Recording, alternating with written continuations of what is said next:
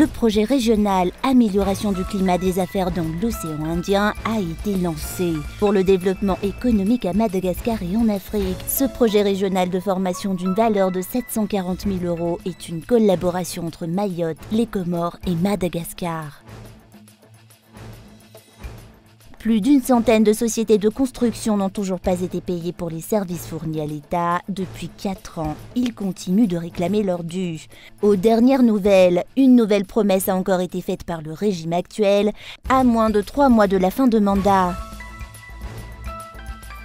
À l'une de l'actualité internationale en France, malgré le couvre-feu nocturne mis en place dans plusieurs villes de jeudi soir à lundi matin, en réponse aux violences survenues depuis la mort du jeune Naël à Nanterre, des violences, émeutes et pillages ont éclaté dans plusieurs villes pour la troisième nuit consécutive.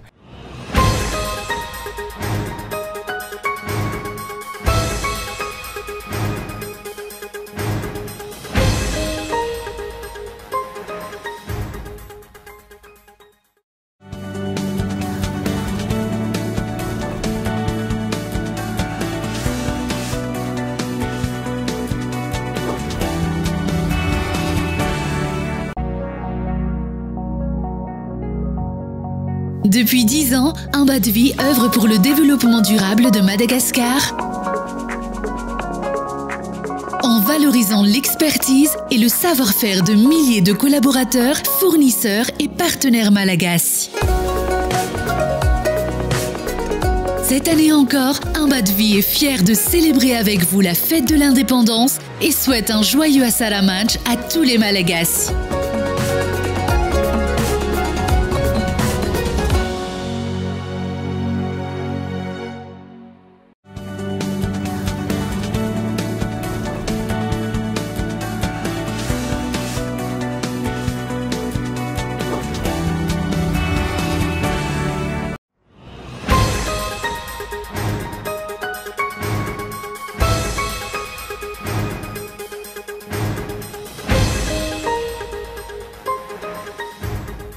Pour le développement économique à Madagascar et en Afrique, le projet régional Amélioration du climat des affaires dans l'océan Indien a été lancé. Ce projet régional de formation d'une valeur de 740 000 euros est une collaboration entre Mayotte, les Comores et Madagascar. Il visera à renforcer les compétences et les connaissances des acteurs économiques de la région pour mettre en place un environnement propice aux affaires.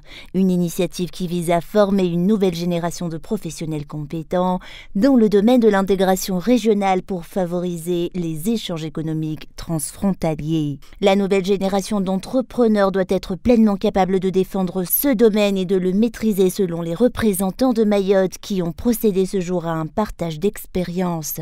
Les failles dans le cadre légal et les accords mal encadrés sont à l'origine du déclin de nombreuses entreprises, selon les explications reçues. Ces failles permettent aux investisseurs de se défaire de leurs engagements sans prévenir. Les impayés, les mauvais payeurs et autres compliquent aussi l'entrepreneuriat selon les explications reçues. La première des fragilités d'une entreprise et d'une jeune entreprise, c'est la sécurisation sur ce sujet. Et donc, euh, plus de progrès sont faits, plus on offrira à ces entrepreneurs euh, euh, l'avenir, qui, sont avides de, sortir de leur territoire, d'aller ailleurs, plus on offrira à ceux qui veulent venir si on raisonne uniquement sur Madagascar, c'est la même chose à Mayotte, c'est la même chose dans les autres pays, plus on leur offrira des outils de sécurité, plus ils prendront le risque. Parce qu'au fond, le mot-clé, c'est que l'économie est un risque. L'entreprise, l'entrepreneuriat est un risque. Cet ancien ministre français lance un appel à l'unité pour le soutien des jeunes entrepreneurs. Une meilleure exploitation des ressources africaines doit être étudiée. Une exploitation durable, a-t-il déclaré. J'ai une conviction forte depuis que j'ai été ministre et que, euh, étant le ministre de Mayotte, j'ai beaucoup regardé euh, ce, territoire. Euh, il faut se donner tous les outils pour capter demain l'immense richesse du développement de l'Est africain. C'est regarder l'horizon.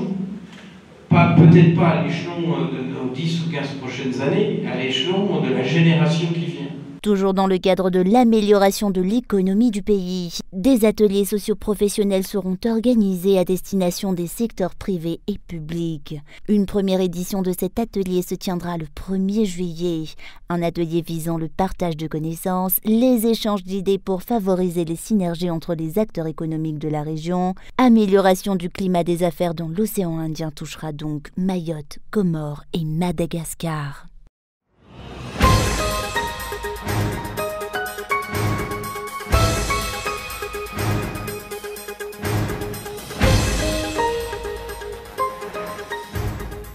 Plus d'une centaine de sociétés de construction n'ont toujours pas été payées pour les services fournis à l'État depuis quatre ans. Aux dernières nouvelles, une nouvelle promesse a encore été faite par le régime actuel à travers les médias nationaux. Aucune réalisation n'est constatée jusqu'à ce jour. À moins de trois mois de la fin de mandat du président de la République, les séries de promesses faites à la population malgache s'enchaînent encore si l'on ne parle que de la cérémonie qui s'est déroulée hier à Itos. Or, de nombreuses promesses n'ont toujours pas été réalisées jusqu'à ce jour, dont la réhabilitation de la RN13 et de la RN6. Les entreprises de construction des routes malgaches qui n'ont pas encore été payées, quant à eux, réclament leur dû. Environ 100 entreprises n'ont toujours pas été payées et nous ignorons pourquoi. Madame la ministre a donné une interview à la TVM le 5 mai 2023. À cette occasion, elle avait déclaré sur la chaîne nationale que l'État ferait en sorte de tout régler dans les plus brefs délais, que le paiement de tous les arriérés se fera sous quinzaine. Nous avons attendu et les 15 jours sont écoulés. Cela fait plus d'un mois. Au cours de ces 15 jours, de nombreuses plaintes ont été déposées par la banque suite à une promesse non tenue par l'État malgache. Une promesse que les banques n'ont pas prise à la légère. Or, aucun paiement n'a été effectué jusqu'à ce jour et l'État malgache n'a avancé aucune date précise pour les paiements selon les explications reçues. Les sociétés étrangères ont été priorisées par le régime, dénoncent les entreprises de construction malgaches. De nombreuses entreprises effectuent actuellement des travaux d'entretien routier. L'État détient donc quand même de l'argent. Alors pourquoi l'État ne procède pas d'abord aux arriérés de paiement? Ces sociétés qui travaillent actuellement sont toutes des entreprises étrangères. Aucune de ces entreprises n'est malgache.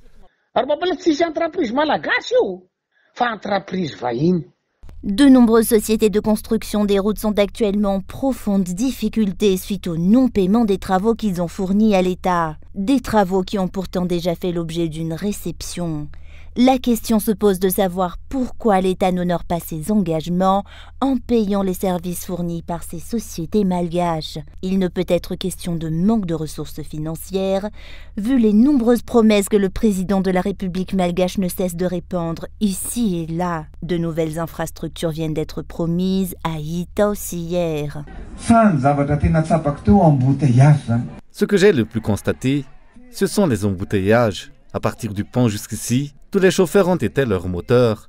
Nous devrons trouver une solution pour résoudre rapidement les problèmes liés aux embouteillages. J'ai noté que vous aviez demandé un CEG à Amboitave. Monsieur le maire, nous construirons rapidement un CEG Manarapincha à Amboitave.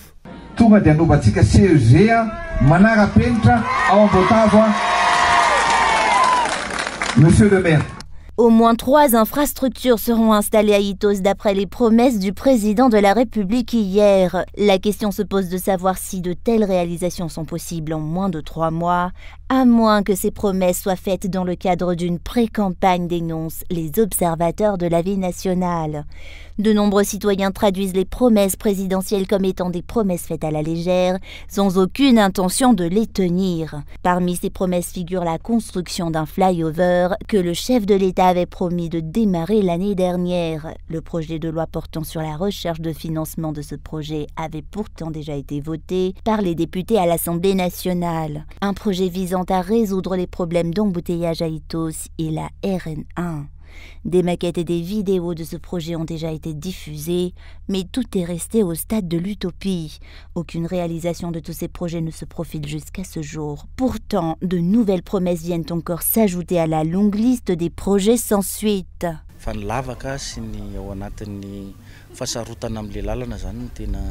Ce sont les trous et les nids de poules qui compliquent les choses à l'heure actuelle.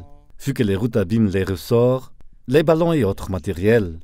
Un accord a été signé par l'association de camionneurs pour les travaux d'urgence.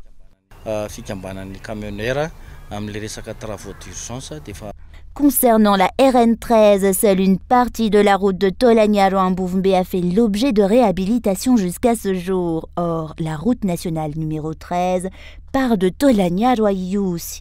La réhabilitation de la route Mbouvmbé-Yous, quant à elle, n'a jamais été évoquée. Les observateurs de la vie nationale se posent la question de savoir si cette route ne fait pas partie des promesses présidentielles.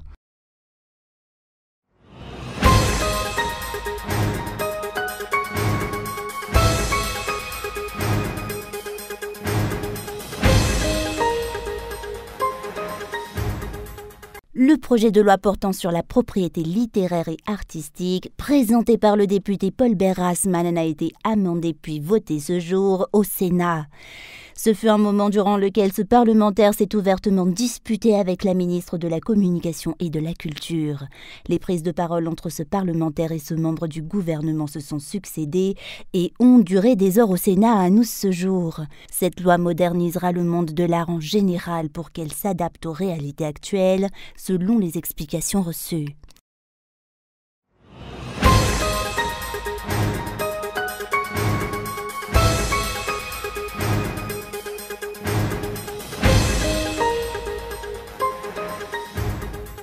Faire venir un manager du redressement de l'étranger pour résoudre les problèmes de la Djirama n'est pas une solution d'après les défenseurs des droits des consommateurs. Le processus de recrutement d'un manager du redressement a été annoncé en Conseil des ministres mercredi. Pour les défenseurs des droits des consommateurs, la venue d'un expert ne peut qu'alourdir les charges de la Djirama et peut impacter le tarif de la consommation mensuelle d'eau et d'électricité.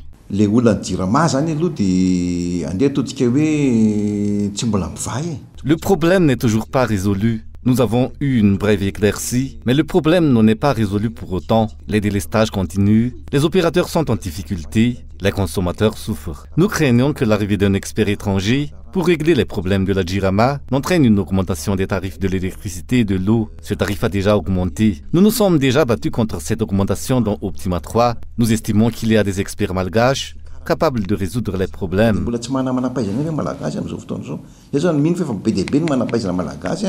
Jusqu'ici, la Jirama ne produit que 400 MW pour tout le pays, dont 214 MW provenant des centrales hydroélectriques, 180 MW des centrales thermiques tournant au fioul et 42 MW de l'énergie solaire. Pour le moment, la promesse présidentielle de doubler la production en 2018 n'a pas été réalisée.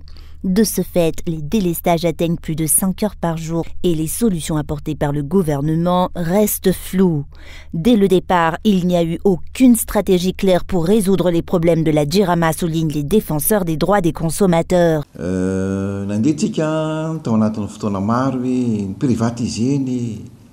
On a souvent parlé de privatisation des entreprises de Madagascar, de la nécessité de faire venir des experts étrangers. Cela n'a résolu aucun problème. Cela a contribué à faire monter le coût de la vie. Nous suggérons la mise en place d'une task force regroupant les consommateurs, la Jirama, les opérateurs petits et grands. Cette task force analysera les problèmes et recherchera les solutions s'il y a des délestages incontournables que tout le monde sans exception les supporte. Plusieurs solutions ont été envisagées pour réduire les délestages. Il en est ainsi du projet Saoufk qui a reçu l'appui financier du Fonds africain de développement en 2019. L'objectif était de produire 200 MW à partir du fleuve Onive. Le projet devait permettre de résorber le déficit sur le réseau interconnecté d'Antananarive et de répondre à la hausse de la demande dans tout le pays. Mais ce projet semble être tombé aux oubliettes à l'heure actuelle.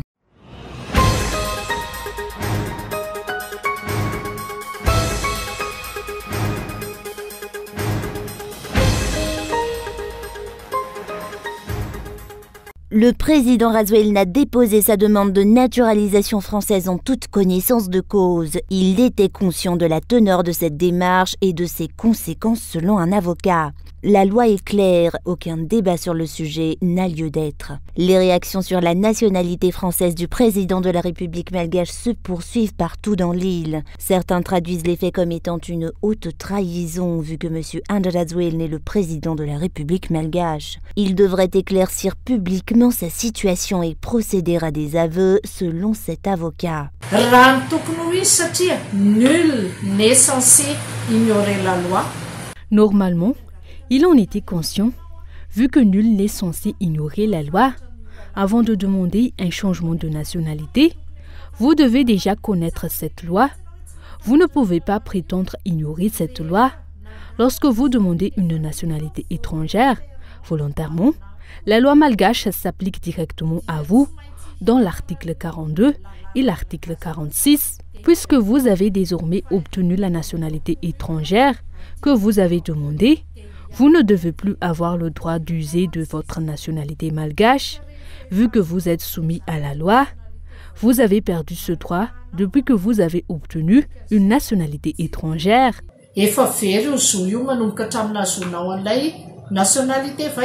Les textes sur la nationalité étrangère ne doivent pas être confondus avec les textes sur la nationalité malgache, selon cet avocat.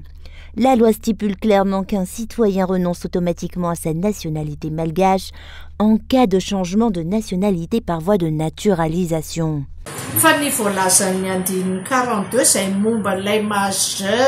L'article 42 mentionne le cas du citoyen majeur qui a volontairement demandé à changer de nationalité. Le concerné était totalement lucide et a fait ce choix par voie de naturalisation, comme le mentionne l'article 42, il ne faut pas faire d'amalgame avec le cas du citoyen majeur que mentionne l'article 42, celui qui a obtenu la nationalité étrangère par naturalisation, et le majeur que mentionne l'article 45, qui bénéficie d'une nationalité étrangère par filiation. 45, par filiation Jusqu'à ce jour, la majorité ne cesse de clamer haut et fort que le président Angela Zwilne, qui s'est présenté aux élections présidentielles malgaches en 2018, n'était déjà plus de nationalité malgache à cette époque. Le peuple malgache se sent trahi et le pays a perdu sa souveraineté face à la situation qui prévaut actuellement dans la grande île. Le président Angela en tant que concerné direct, ne s'est toujours pas prononcé et n'a fourni aucune explication au peuple malgache jusqu'à ce jour sa version des faits est attendue.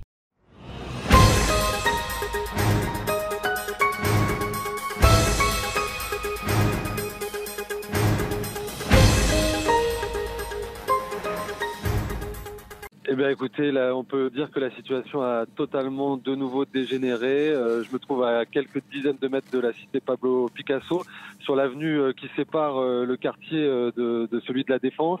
devant moi, il y a cinq à six voitures qui sont en train de brûler. un hélicoptère des forces de l'ordre passe depuis quelques minutes au-dessus de nos têtes. on a vu tout à l'heure une charge de jeunes sur des effectifs de police qui se trouvaient à proximité, euh, des jeunes qui sont extrêmement mobiles. Hein, euh, apparemment, dans à l'intérieur même du quartier Pablo Picasso, euh, les échauffourées et les affrontements assez violents ont démarré en milieu de soirée, à coup de tirs de mortier contre des tirs de grenades de désencerclement ou des tirs de LBD. on pensait que la situation était revenue au calme puisqu'on se trouvait précédemment sur le parvis de la préfecture de Nanterre, là où c'était achevé euh, la marche euh, en hommage, en mémoire euh, de Naël. des échauffourées avaient également eu lieu en fin d'après-midi. puis un immeuble avait pris feu après que après qu'une agence bancaire ait été incendiée. Et à ce moment-là, les gens s'étaient plutôt dispersés et, le calme était plutôt revenu. Mais comme je vous le disais, eh bien une grande fumée noire est actuellement au-dessus de ma tête et la nuit va être très longue ici au quartier Pablo Picasso de Nanterre.